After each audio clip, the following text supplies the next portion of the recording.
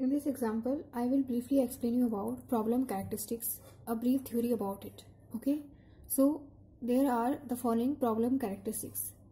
I have written them in short. In books, the it, they are a bit lengthier. I have written them in a shorter way. First one is is problem decomposable. Second one is can solution steps be ignored or undone? This is question mark. Okay, is the universe predictable? Question mark is good solution absolute or relative? Question mark. Is solution a state or path? Question mark. What is the role of knowledge? Question mark. Does the task require interaction with a person? Question mark. Okay. So these are the problem characteristics and you have to explain all of them in exams. I will make them as this is first one, this is second one, this is third one, this is fourth, 5th, 6th and 7th. Okay, so for the first one, is problem decomposable?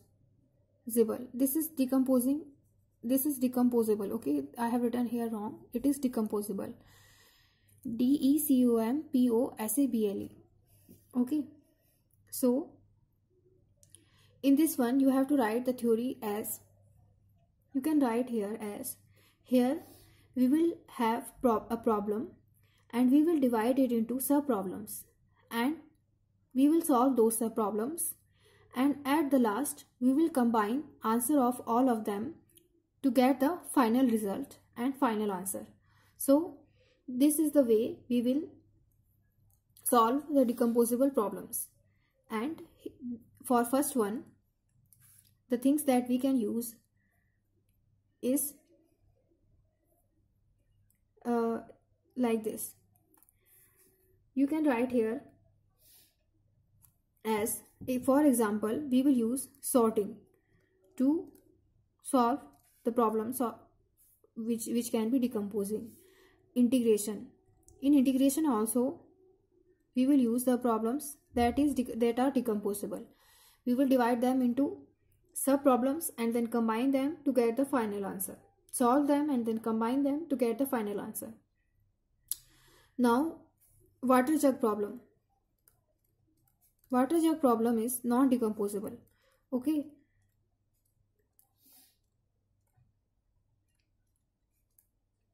So this is the thing. So I hope you understand this that this problem is decomposable. It means that this problem is decomposable into a set of nearly independent, smaller or easier subproblems. Yes, integration and sorting problem can be decomposed. Water jug is not non-decomposable. Okay. Now, next thing. Can solution, second one is, can solution steps be ignored or undone? Can we do that? In If we can do that, in what cases we can do that? And can uh, solution steps be ignored or undone if they prove unwise? Okay so for this second one i will write it like this. Second one we have problems like ignorable recoverable and irrecoverable. Irrecoverable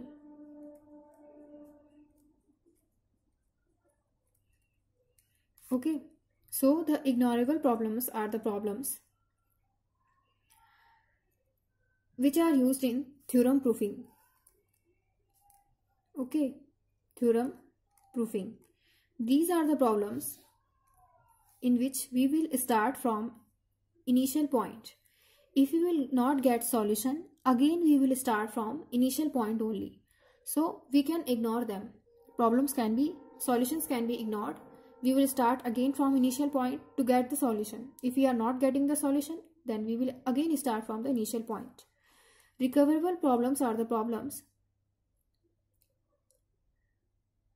We will, we can, uh, we are noting our steps. We can undone our steps. We can move back to previous. Then if we are not getting the thing that is that can give us the final result we will move back to the previous and then more previous and then more previous steps. And we can do that only in the case if we are noting down our steps. So these are the problems that can be undone. And it this we can do in it in eight puzzle problem. Okay we can undone our steps. And these are the irrecoverable problems are the problems which can't be undone an example of this will be chess. We can also take the example of tic-tac-toe to understand this. Okay? So this is the thing that you need to know about this. After this we will have third third one which is is the universe predictable? It means that is the problems universe predictable. So is the problem in universe is predictable? So to get the answer of this i am moving with the third point. Okay. So here we have two types of problems. One problem which will have certain outcome and other problem which will have uncertain outcome.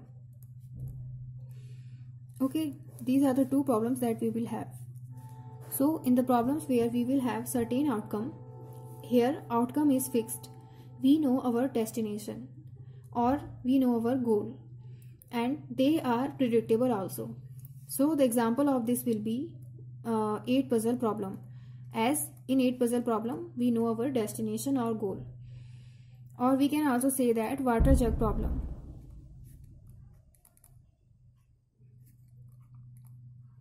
Okay. Now next. Certain uncertain outcome. Uncertain outcome problems are those where outcome is not fixed. We don't know our destination or goal and they are not predictable. So the example is chess. We can't we don't know that who will win. Okay? We are dealing with the environment. Two persons or two people or four people are playing in different games uh, and they don't know the outcome? Okay so this is the third one. Now fourth one is is good solution absolute or relative? Is a good solution to the problem obvious without comparison to all other possible solutions is the fourth one. So for fourth one we will have two types of problems. One is absolute other is relative. Okay? For absolute problems we are focusing on getting the solution. And for relative problems we are focusing on getting the optimal solution. For example percentage system. And here the example that we can take is CGPA system cumulative grade point assessment. Here another example that we can use is TSP. This is traveling salesman problem. Here we are focusing on getting op um, optimal solution and here we are just focusing on getting solution. Okay. So this is the two types of it. Now fifth one is is solution a state or path? Okay. If the desired solution a state of the world or a path to the state? This is the question that is arising. So the path will be in which we know our destination. Its example will be water jug problem. Okay, water jug problem is its example in which we know our destination or goal and state is where after every move we have to look upon each state we don't know our destination. Okay. Here it is looking at each state. So this is the the example of this will be uh, ch uh, chess. Or we can take example as tic-tac-toe. So here we have to look at each state here one example, real life example that we can take is, here like this. Bank president ate a dish of pasta salad. So see this. Pasta salad with a fork. Okay so here we have two things this bank and one thing is dish. Here bank can be a financial aid or bank can be a river bank. Dish can be a crockery dish can be a eatable thing. So here we have to look upon each state. If we will assume first one then if we are not looking at its second option then we will not get answer. So this is the real life example. Just if you are not understanding this just write these uh, examples only and explain these two only. Okay? I have already explained that to you. Now sixth one. Now sixth one is what is the role of knowledge? And in if you want to uh, make a big question you can write it like this. Is a large amount of knowledge absolutely required to solve the problem? Or is knowledge important only to constrain constrain the search? Question mark. So in short you can write it like this. What is the role of knowledge? Here we have two things. One is fixed knowledge okay and another is updated knowledge. From the names only you will you are i hope you are understanding these things. So in fixed knowledge knowledge is fixed. We can't change it. Example in games like chess. Okay knowledge is fixed. Everything is already specified. Uh, we are uh, playing this game by using the rules that are already fixed. Updated knowledge in updated knowledge problem. Knowledge have to be updated. It keeps on changing with time. One real life example we, that we will take is elections.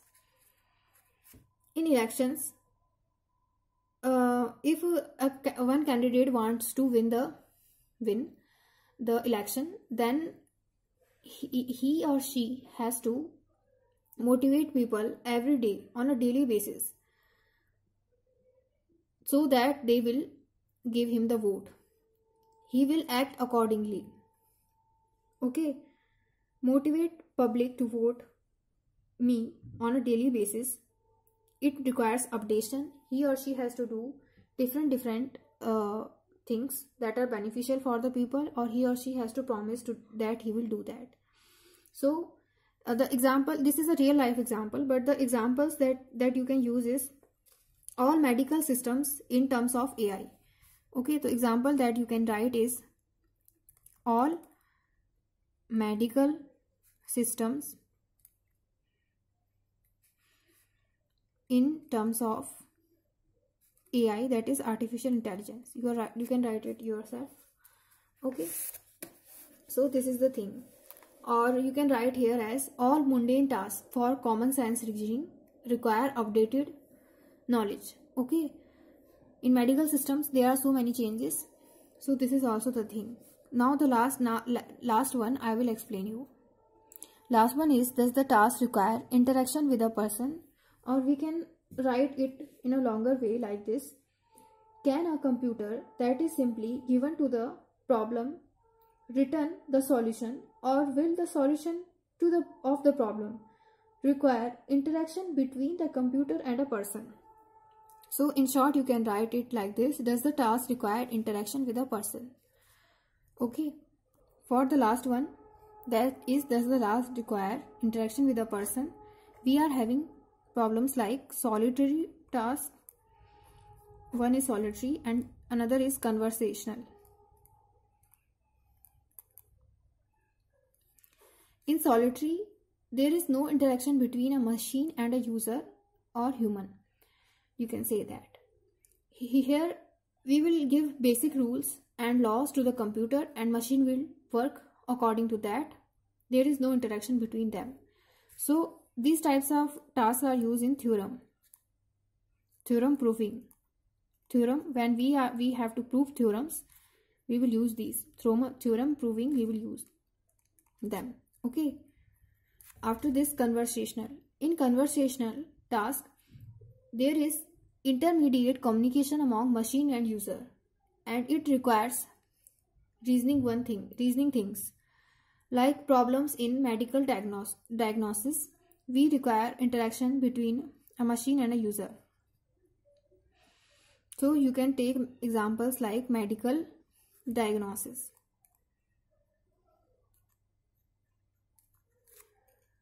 So this is the thing that you, you need to know and you can add more theoretical things in it. I have just explained you the basic things and i have written the all the tasks in a shorter way. I hope you can uh, get basic things from this